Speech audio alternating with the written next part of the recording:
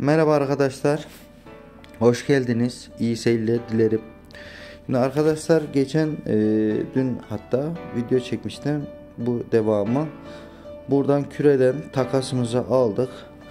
Dev silahımızı 7. becerisini açacağız. Yani bir 7. becerisinin önemi e, biliyor musunuz bilmiyorum ama bilmediğinizi bilerekten söylüyorum. Her yerde aktif yani arkadaşlar e, aynı anda birkaç yerde olabiliyor. Yani altı kol çıkabiliyorsunuz. Altı kollu da dev silahla çıkabilirsiniz. E, savunmada da duruyor. Bu beceri önemli bir beceri. Saldırı yaparken adam senin ikinci subayına vurmaya çalışıyor. Ama Seyk'in kapıda yok. Çünkü ana subayla gitmiş. İkinci subayınız kuvvetli yaparsanız bu sorun ortadan kalkmış oluyor.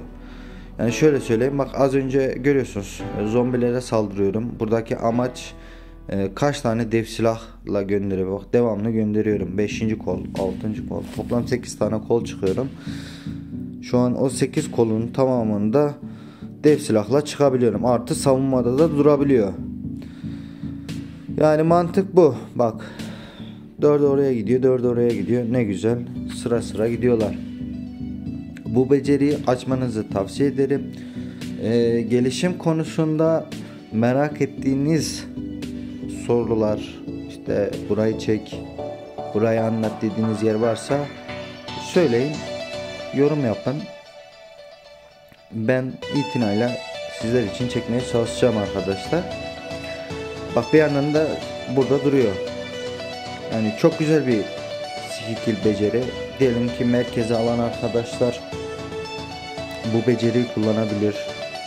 Ee, ikinci subayı ana üstünde durabilir yani ana subayı. Ana subayla dev silah S2 kapıda duruyor zaten sağlam. Ee, hırsız mesela hırsızı da e, merkeze gönderdim. Merkezi de hırsızla tutuyorum ya da tam tersi. Ha bu her yerde aktif muhabbeti 3 ve 3 arenada da geçerli arkadaşlar. Yani şu an ben ayarlamasını yapıyorum. Genelde orakçı en güçlü olduğu için orakçıyı tercih ettim. Eski usul bırak kalsın dedim. Şu an ikinci subayın elbisesi de var. Cicila'da da elbise var. Şimdi bunları tek tek ayarlıyorum. İkinci bölümü de ayarladık. Evet üçüncü bölümde Cecila. Burada da ayarlayayım zaten. Şu an e, görüyorsunuz ayarladık. Bakalım süremizde de olmak üzere. Nerede o? Timi düzenledik. Saldır diyelim. İşte buna salın. Bak 3 tane dev silahı da gördüğünüz gibi koyabildim. Şu an adama vurabilirim. Hani çok tatlı bir şey. Bakalım savaşçıyı kesecek miyiz? Lanet bir savaşçı. Savaşçıları hiç sevmiyorum. Kesmedi. Savaşçı düz bir asker. Anlamsız bir asker benim için yani. Eskiden saldırı yaparken 30k formasyonun önüne koyuyorduk. İlk önce onlar ölsün piyadeler diye de. Şimdi adamlar oyun mantığı tabi haklılar bir yandan da. Bak burada da savaşçı. Bu üçü de farklı üç tür askeri de var. Hangi birini keseceğim? Neyse arkadaşlar ben e, izlediğiniz için teşekkür ederim. Umarım faydalı olmuştur sizlere. Aha Zeus'u ben normalde kesemiyordum. Bizim ittifakta arkadaş. Baş, ittifak başkanı. Aa şimdi kesiyoruz. Yani çok tatlı oldu. Ee, destek vermek isterseniz yorum yapmayı, beğenmeyi unutmayın. Merak ettiğiniz soruları yanıtlamak için yorum yapın.